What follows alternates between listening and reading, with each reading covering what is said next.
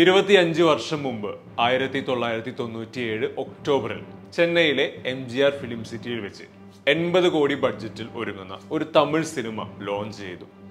എൺപത് കോടിയിലെ ഒരു സിനിമ എന്നത് അന്ന് അവിശ്വസനീയവും ഇന്ത്യയിലെ ഏറ്റവും വലിയ വിപണിയുള്ള ബോളിവുഡിന് പോലും അത്ര എളുപ്പത്തിൽ ചിന്തിക്കാൻ സാധിക്കാത്ത ഒന്നുമായിരുന്നു. ആ സിനിമ പൂർത്തീകരിക്കുവാൻ അതിന്റെ അണിയറ പ്രവർത്തകർക്ക് ഇരുപത്തഞ്ച് കൊല്ലത്തിനിപ്പുറവും സാധിച്ചിട്ടില്ല. അതൊരു അൺഫിനിഷ്ഡ് സിനിമയായി അവസാനിച്ചു. അവസാനിച്ചോ എന്ന ചോദ്യത്തിന് പ്രസക്തി കൂടുന്നത് അതൊരു സിനിമ മാത്രമായിരുന്നില്ല എന്നതുകൊണ്ടാണ്. അതൊരു സ്വപ്നമായിരുന്നു. സിനിമ എന്ന മാധ്യമത്തിൽ പുതുതായി എന്ത് ചെയ്യാമെന്ന് ഓരോ നിമിഷവും സ്വപ്നം കാണുന്ന ചലച്ചിത്രകാരൻ കണ്ട സ്വപ്നം. ഓരോ തവണയും ഓരോ കമൽഹാസൻ സിനിമയും റിലീസിനെത്തുമ്പോൾ ഈ സിനിമ അവിടെ വീണ്ടും ചർച്ചകളിൽ പുനർജനിക്കുന്നു. ചോദ്യമായി കമലിന് മുന്നിലെത്തും. അതെ മരുതനായകമായി ജനിച്ച് മുഹമ്മദ് യൂസഫ് ഖാനായി ജീവിച്ച് ഖാൻ സാഹിബായി മരിച്ച വാരിയർ കമൽ ഹാസന്റെ ഡ്രീം പ്രൊജക്ട് മരുതനായകം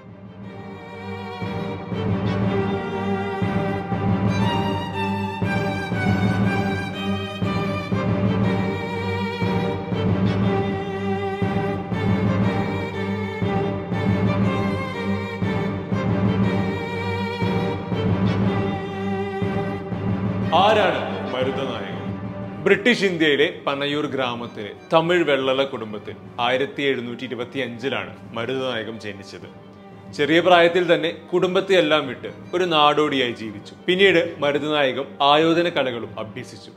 തന്നെ അഭ്യസിപ്പിച്ച ഗുരുവുമായി കൂടുതൽ അടുത്തത് ഇസ്ലാം മതത്തിൽ കൂടുതൽ താല്പര്യം ഉണ്ടാക്കുകയും അങ്ങനെ മരുതനായകം മുഹമ്മദ് യൂസഫ് ഖാൻ എന്ന പേര് സ്വീകരിച്ച് ഇസ്ലാം മതത്തിലേക്ക് മാറുകയും ചെയ്തു. അതിനുശേഷം പോണ്ടിച്ചേരിയിൽ ചെന്ന് ഫ്രഞ്ച് പട്ടാളത്തിൽ ചേർന്നു. പിന്നീട് അവിടെ നിന്ന് തഞ്ചാവൂരിൽ പോയി ബ്രിട്ടീഷ് പട്ടാളത്തിന്റെ ഭാഗമായി. അവിടെ വെച്ച് ബ്രണ്ടൻ എന്ന ബ്രിട്ടീഷ് ക്യാപ്റ്റൻ മരുതനായകത്തെ ഇംഗ്ലീഷ് പഠിപ്പിച്ചു. തഞ്ചാവൂരിൽ നിന്ന് നെല്ലൂർ പോയി. മുഹമ്മദ് കമലിന്റെ അടുക്കൽ നിന്ന് പരമ്പരാഗത വൈദ്യശാസ്ത്രം പഠിച്ചു. നെല്ലൂരിൽ വെച്ച് അയാൾ ബ്രിട്ടീഷ് പട്ടാളത്തിന്റെ സുബൈദാറായി. പിന്നീട് അയാൾ ആർക്കോട്ട് ട്രൂപ്പിന്റെ കൂടെ കൂടി. അവിടെ വെച്ചാണ് പോർച്ചുഗീസുകാരിയായ മാർത്തയുമായി പ്രണയത്തിലാകുന്നതും അവളെ വിവാഹം കഴിക്കുന്നതും. കർണാട്ടിക് യുദ്ധത്തിന്റെ സമയത്ത് അയാളുടെ ഗറിള യുദ്ധമുറകൾ ബ്രിട്ടീഷ് ആർമിയെ വിജയത്തിലേക്ക് നയിച്ചു. പിന്നീട് മരുന്ന് നായകത്തിന്റെ വളർച്ച വളരെ പെട്ടെന്നായിരുന്നു. അയാളുടെ കീഴിലായി മധുരയും തിരുനെൽവേലിയും. ആളുകൾ മരുതനായകത്തെ ഇഷ്ടപ്പെടാൻ തുടങ്ങി. എന്നാൽ ഇത് ബ്രിട്ടീഷിനെയും നവാബിനെയും കുറച്ചൊന്നുമല്ല ചൊടിപ്പിച്ചത്. ടാക്സ് മരുതനായകത്തിനല്ല നേരിട്ട് നവാബിന് കൊടുക്കണമെന്ന ഉത്തരവ് വന്നത് മരുതനായകത്തിനെ പ്രകോപിതനാക്കുകയും അയാൾ ആർമി ബിൽഡ് ചെയ്ത് ബ്രിട്ടീഷിനെതിരെ പോരാടാൻ തയ്യാറാക്കുകയും ചെയ്തു. പിന്നീട് അയാൾക്കെതിരെ അയാളുടെ കൂട്ടത്തിൽ നിന്നും മൂന്ന് പേരെ കരുവാക്കി മരുതനായകത്തെ നമാസ് ചെയ്യുന്നതിനിടയിൽ നിന്ന് അറസ്റ്റ് ചെയ്ത് ആർക്കോട്ട് നവാബിന്റെ മുന്നിൽ വെച്ച് തൂക്കിക്കൊന്നു. ഇത്രയൊക്കെ സംഭവ ബഹുലമായ മരുതനായകത്തിന്റെ ജീവിതം സ്ക്രീനിൽ എത്തിക്കുവാൻ കമൽഹാസൻ ഒരുപാട് ആഗ്രഹിച്ചു. ആയിരത്തി തൊള്ളായിരത്തി മുപ്പത്തി ഏഴിൽ അമേരിക്കൻ സംവിധായകൻ എല്ലിസ് ഡങ്കൻ സംവിധാനം ചെയ്ത മ്യൂസിക്കൽ പീരിയഡ് മൂവിയായ അംബികാപതി പോലെയുള്ള ഡയലോഗുകൾക്ക് പ്രാധാന്യം കുറഞ്ഞ ഒരു ചരിത്ര സിനിമ സംവിധാനം ചെയ്യണമെന്നതായിരുന്നു കമലിന്റെ പ്ലാൻ എഴുത്തുകാരൻ സുജാത പറഞ്ഞതനുസരിച്ച് കമൽഹാസൻ തമിഴ് പണ്ഡിതൻ വാനമാമലയുടെ ഖാൻ സാഹിബ് സൺഡേ എന്ന നാടോടി ഗാനം കേൾക്കാനിടയായി. ഈ പാട്ട് കേട്ടതിന് ശേഷമാണ് പതിനെട്ടാം നൂറ്റാണ്ടിലെ യോദ്ധാവായിരുന്ന മുഹമ്മദ് യൂസഫ് ഖാന്റെ ജീവിതത്തെ ആസ്പദമാക്കി മരുതനായകം എന്ന സിനിമ ചെയ്യാൻ കമൽ തീരുമാനിക്കുന്നത്. ഇന്ത്യൻ സിനിമയിലെ ഏറ്റവും ചെലവേറിയ സിനിമയായിരുന്നു മരുതനായകം. എൺപത് കോടി ബഡ്ജറ്റ് ബോളിവുഡിൽ നിന്നും ഹോളിവുഡിൽ നിന്നും അടക്കം അഭിനേതാക്കളും സാങ്കേതിക വശങ്ങൾ കൈകാര്യം ചെയ്യാൻ ഹോളിവുഡിലെ പ്രഗത്ഭരായ ടെക്നീഷ്യന്മാരും ഈ ചിത്രത്തിന് കരാറുപ്പെട്ടു. ഇതിനു മുൻപ് മികച്ച കളക്ഷൻ നേടിയ തന്റെ സിനിമകളിൽ നിന്നുള്ള സമ്പാദ്യത്തിന്റെ ഭൂരിഭാഗവും കമൽ മരുതനായകത്തിന് വേണ്ടി ഇൻവെസ്റ്റ് ചെയ്തു. മരുതനായകം ചിത്രീകരണം തുടങ്ങി കുറച്ചുനാൾ കഴിയുമ്പോഴേക്കുമാണ് ആയിരത്തി തൊള്ളായിരത്തി തൊണ്ണൂറ്റി എട്ടിൽ ഇന്ത്യ പൊഖ്രാനിൽ അണുബോംബ് പരീക്ഷണം നടത്തുന്നത്. മറ്റ് രാജ്യങ്ങളുടെ എതിർപ്പ് മറികടന്നായിരുന്നു ഇന്ത്യയുടെ ഈ പരീക്ഷണം.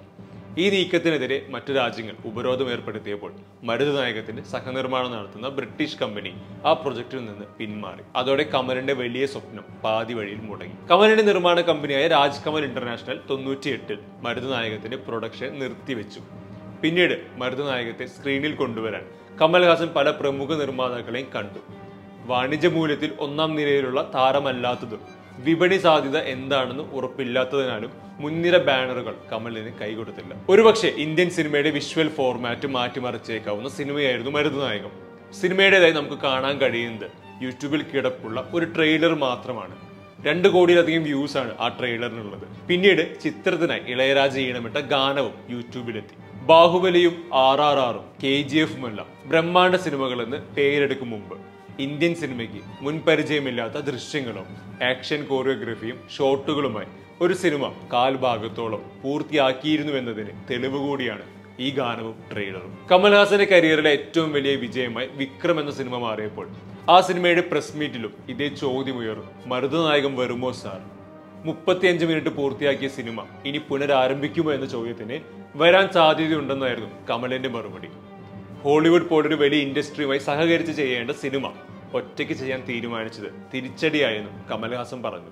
പോത്തിന്റെ പുറത്ത് ചാടിക്കയറി വരുന്ന മരുതനായകം ഒരുപക്ഷെ ഇന്നും ഒരു ഹീറോ മെറ്റീരിയലിലും നമ്മൾ കാണാത്ത അത്രയും ഫ്രെയിമിനെ പവർഫുൾ ആക്കുന്നുണ്ട്. കമൽഹാസൻ ഇന്നും ഉള്ളിൽ കൊണ്ടു നടക്കുന്നുണ്ടാവും ആ കഥാപാത്രത്തെയും സിനിമയെയും.